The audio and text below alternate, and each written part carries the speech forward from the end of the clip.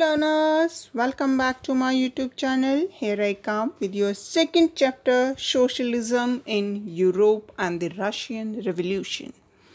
This is an introductory lecture in which we will understand about the age of social change and the ideology of liberals, radicals, and conservatives.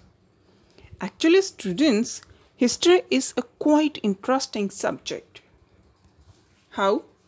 Actually, history हमें बताती है कि हमें अपने rights के लिए fight कैसे करनी है और जब किसी स्टेट या किसी कंट्री के सिटीजन्स अपने राइट्स के लिए फाइट करते हैं तो उसे रिवोल्यूशन कहते हैं और वो इस रिवोल्यूशन के ज़रिए कितनी भी एब्सल्यूट मोनार्क हो या किसी भी पॉलिटिकल इंस्टीट्यूशन को ओवरथ्रो करके कॉन्स्टिट्यूशन को इस्टेब्लिश कर सकते हैं। और ये एग्ज़ाम्पल आप बहुत अच्छे से फ्रेंच रिवोल्यूशन 1789 में पढ़ चुके हो। इस आइडियोलॉजी के अलावा फ्रेंच रिवोल्यूशन ने इंटायर वर्ल्ड को और भी बहुत पावरफुल आइडियाज़ दिए थे। और वो आइडियाज़ थे liberty and equality The French Revolution gave a chance to the possibility, possibility of making a dramatic change in the way in which society was structured. As you have read, society before the 18th century was mostly divided into states. First state, second state and third state.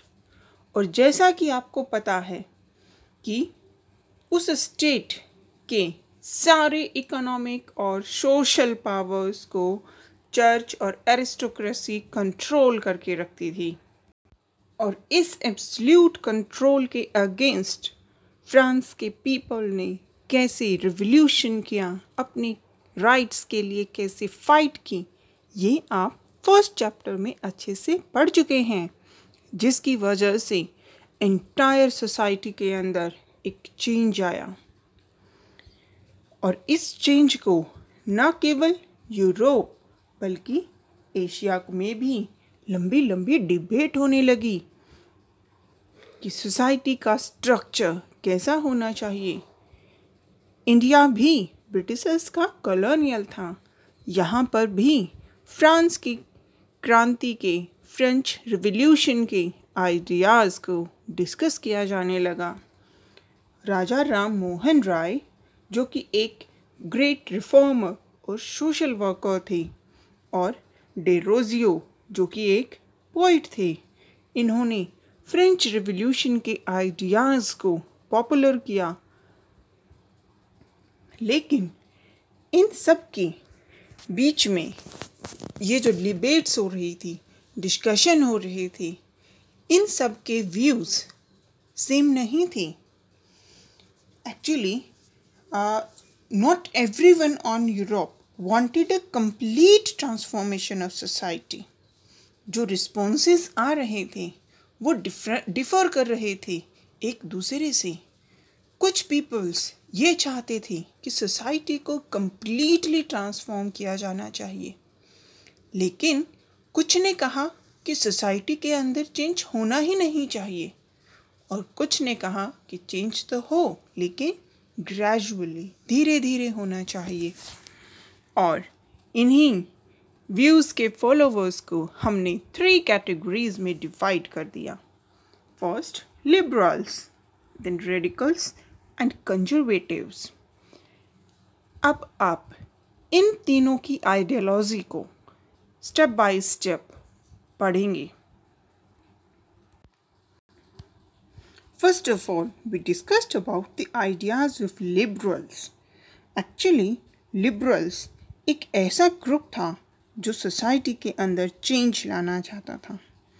Liberals एक ऐसे nation को establish करना चाहते थे जहाँ पर सभी religions को इक्वली टॉलरेट किया जाए।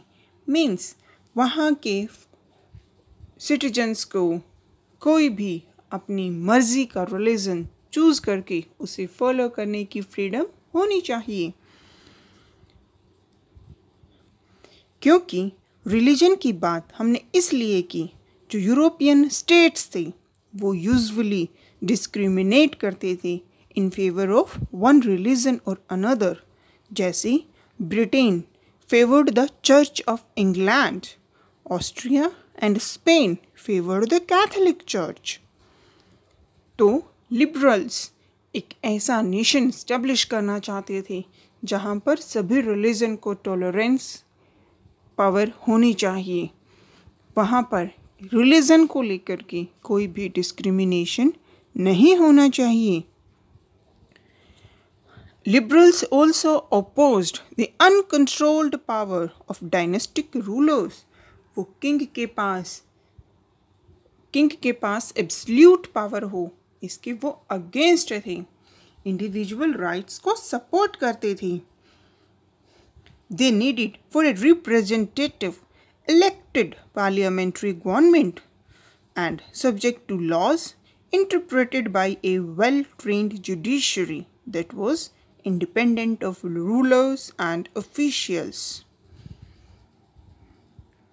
क्योंकि यदि जुडिशरी इंडिपेंडेंट होगी तभी तो वो फेयर जस्टिस कर पाएगी जो लिबरल्स थे वो डेमोक्रेट्स नहीं थे that's why they did not believe in universal adult franchise. Universal adult franchise means 18 years या उससे अबो जो सिटीजन्स होते हैं, उन्हें बिना किसी भेदभाव के राइट टू वोट दिया जाता है, जिसे यूनिवर्सल अडल्ट फ्रेंचाइज कहते हैं। और लिबरल्स बिल्कुल भी फेवर में नहीं थे कि सिटीजन्स को ये मिले, क्योंकि उनका मानना था राइट टू वोट केवल उन्हीं को होना चाहिए जिनके पास प्रॉपर्टी हो, इसलिए दे सपोर्टेड प्राइवेट प्रॉपर्टी अब आप लिबरल्स के व्यूज़ को अच्छे से समझ चुके हैं। Next radicals radicals wanted a country in which government was based on majority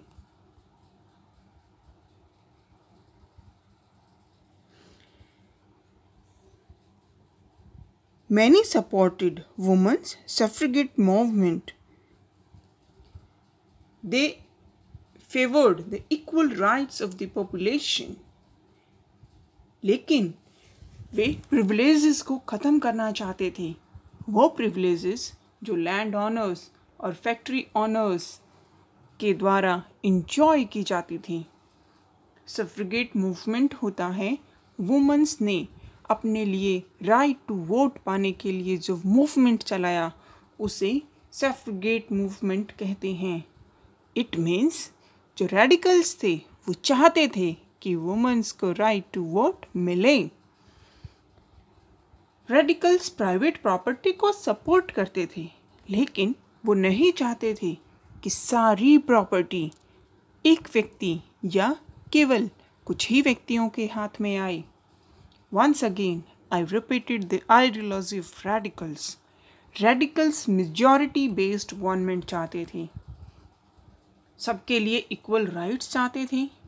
जितने भी लैंड ऑनर्स और फैक्ट्री ऑनर्स प्रिवलेजेस को इन्जॉय करना कर रहे थे उन्हें ख़त्म करना चाहते थे। वुमेंस को राइट टू वोट देने के फेवर में थे। प्राइवेट प्रॉपर्टी के फेवर में भी थे। लेकिन पूरी प्रॉपर्टी किसी एक व्यक्ति या कुछ व्यक्तियों के पास हो, इसके वो बिल्कुल अगेंस्ट थे। नाउ द कंजर्वेटिव्स कंजर्वेटिव्स की अपनी एक अलग ही आइडियोलॉजी थी। वो ना तो लिबरल्स के साथ मैच हो रही थी और ना ही रेडिकल्स के साथ। वास्तव में जो कंजर्वेटिव्स थे, वो लिबरल्स और रेडिकल्स दोनों को ओपोज करते थे।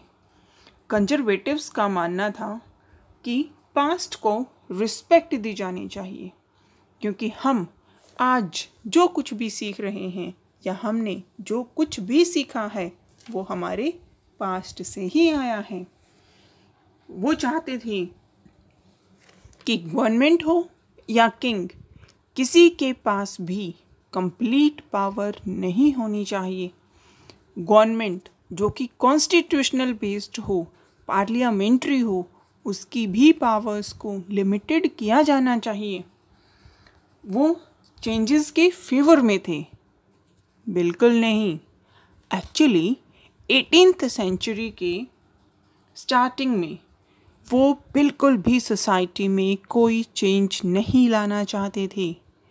वो बिल्कुल नहीं चाहते थे कि सोसाइटी के अंदर किसी भी तरह का कोई चेंज आए। लेकिन जब नाइनटीन सेंचुरी में एंटर हुए तो उन्होंने देखा कि पीपल अपने राइट्स के लिए फ़ाइट कर रहे हैं। अलग अलग जगह पर रिवोल्यूशन हो रहे हैं। तो उन्होंने ये एक्सेप्ट कर लिया कि चेंजेस ज़रूरी हैं। लेकिन वो कंप्लीट ट्रांसफॉर्मेशन के फेवर में अभी भी नहीं थे। वो चाहते थे कि सोसाइटी के अंदर चेंज आए, लेकिन ग्रेजुअली ग्रेजुअली चेंजेस से क्या होगा कि जो सिटीजन्स हैं, वो इजीली उन चेंजेस को एक्सेप्ट कर पाएँगे।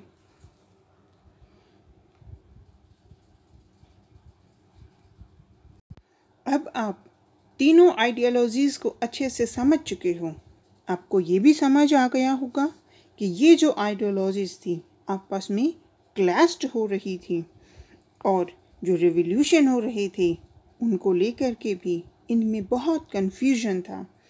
And these various attempt at revolution and national transformation in the nineteen century helped to define both the limits and potential of these political tendencies So that's all for our today's video students मेरे videos से आपको पढ़ाई में बहुत help मिल रही होगी। यदि आपको मेरे वीडियोस अच्छे लगते हैं और आप चाहते हो कि मैं ऐसे और भी चैप्टर्स से आपके लिए वीडियोस लेकर आऊँ तो मेरे चैनल को सब्सक्राइब करें। उसके पास में एक बेल आइकन है, उसको प्रेस करें।